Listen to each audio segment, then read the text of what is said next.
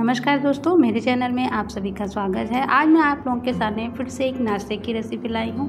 गेहूँ के आटे का ये नाश्ता बहुत ही हेल्दी और बहुत ही टेस्टी है। एक बार आप इस रेसिपी को ज़रूर ट्राई कीजिएगा। बच्चों को ये नाश्ता बहुत ही पसंद आता है। तो चलिए दोस्तों, आज की ये मज़ेदार रेसिपी स्टार्ट करते हैं। वीडियो को प्लीज़ फुल वॉच कीजिएगा। छोटी सी वीडियो है, पसंद आने के बाद लाइक कीजिएगा और अपने फ्रेंड्स एंड फैमिली के साथ शेयर करना मत भूलिएगा चैनल पर।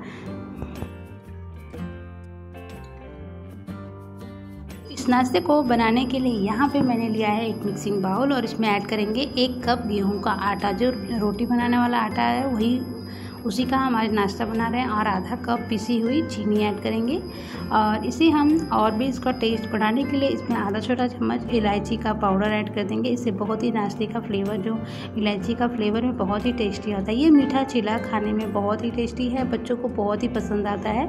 आप इसे बच्चों को दही के साथ सर्व कर सकते हैं। तो देखिए, इसे हम पहले अच्छे से पूरे ड्राई इंग्रीडियंट्स को अच्छे से मिक्स करेंगे और थोड़ा थोड़ा पानी डालकर इसका हम एक पतला सा घोल, जैसे आप डोसे के लिए घोल बनाते हैं ना, बस उसी तरह का घोल बनाकर तैयार कर लेंगे।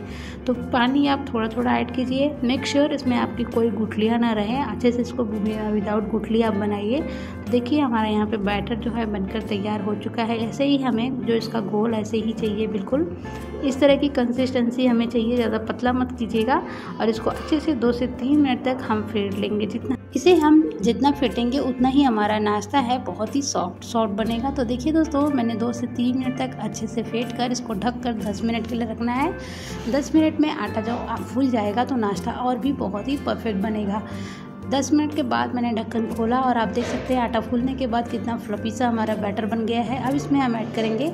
यहाँ पे मैंने दूध की मलाई ली है, जो दूध लास्ट वाला दूध बचता है ना, उसकी मलाई है तो इसको ऐड कर देंगे क्योंकि बच्चे मलाई खाने में आना कानी करते हैं तो इस तरह से आप बच्चों को दूध का मलाई खिला सकते हैं। और लास्ट वाला दूध बच्चे पीते भी नहीं हैं तो इस तरह से आप यूज़ कर सकते हैं। मैं पहले भूल गई थी तो इस, अभी मैं इसको डालकर इसका कंसिस्टेंसी एडजस्ट कर लूँगी, अच्छे से मिक्स कर देते हैं। तो इसका हमें न ज़्यादा पतला घोल तैयार करना है, न ज़्यादा मोटा कुछ तो मैं आपको बाद में बताऊँगी कि इसकी कंसिस्टेंसी हमें किस तरह की चाहिए। अच्छे से देखिए मिक्स कर दिया है और फाइनल कंसिस्टेंसी कुछ इस तरह की है। तो चलिए हमारा, अब इसमें हम एक चुटकी सोडा डालेंगे खाने का, जिससे नाश्ता हमारा बहुत ही सॉफ्ट बने। अच्छे से कर देते हैं मिक्स और यहाँ पर तवा रखा है। लोहे की तवी पर बना रहे हैं, आप चाहें तो नॉन स्टिक पे भी बना सकते हैं। अब इसमें हम डालेंगे घी, देसी घी में बनाइएगा दोस्तों, बच्चों को बहुत ही पसंद आएगा और हेल्दी भी है।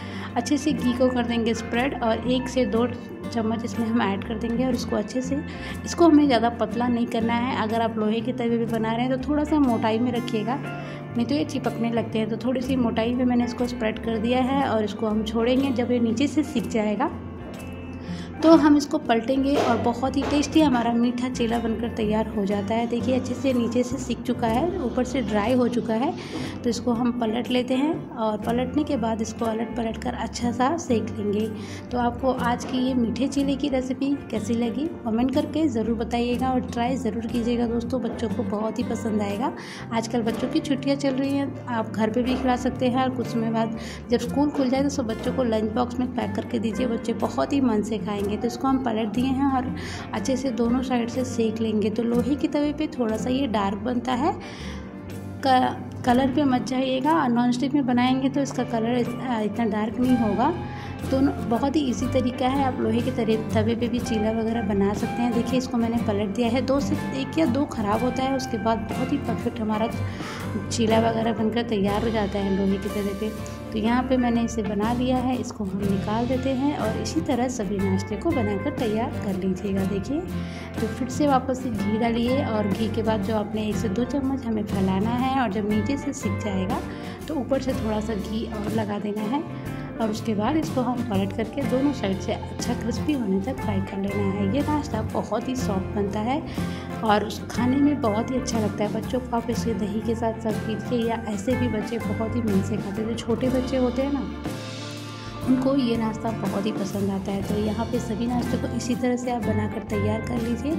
आपको आज की ये रेसिपी कैसी लगी? कमेंट करके ज़रूर बताइएगा दोस्तों। वीडियो को प्लीज़ फुल वॉच कीजिएगा और अगर पसंद आए तो लाइक कीजिएगा और अपने फ्रेंड्स एंड फैमिली के साथ शेयर करना मत भूलिएगा। चैनल पर पहली बार विज़िट कर हैं तो प्लीज़ सब्सक्राइब कीजिएगा और बेल आइकन को प्रेस करना मत भूलिएगा ताकि जब भी मैं कोई न्यू रेसिपी डालूँ, उसकी अपडेट आप तक सबसे पहले पहुँच जाए। तो देखिए, यहाँ पर हमने सभी नाश्ते को कर लिया है, तैयार चीला हमारा बन चुका है और बहुत ही सॉफ्ट बना आप देख सकते हैं, बिल्कुल सॉफ्ट सा हमारा चीला परफेक्ट बनकर तैयार हो गया है। इसे आप दही के साथ या फिर बच्चों को ऐसे ही खिलाइए, बच्चे बहुत ही खुश हो जाएँगे। क्योंकि बच्चों को रोज़ रोज़ एक ही नाश्ता खाने में बोर हो जाते हैं तो उनको थोड़ा अलग अलग और मीठे चीज़ें खिलाते हैं। बच्चे बहुत ही मन से खाते हैं। देखिए कितना सॉफ्ट बना है। आप इसे बच्चों को लंच बॉक्स में भी पैक करके कर दे सकते हैं। तो आपको आज की ये रेसिपी कैसी लगी? कमेंट करके बताइएगा। तो चलिए दोस्तों, मिलते हैं नेक्स्ट वीडियो में नेक्स्ट रेसिपी के साथ। तब तक इसी तरह घर का बना हुआ हेल्दी खाइए हेल्दी रहिए। Thank you so much for watching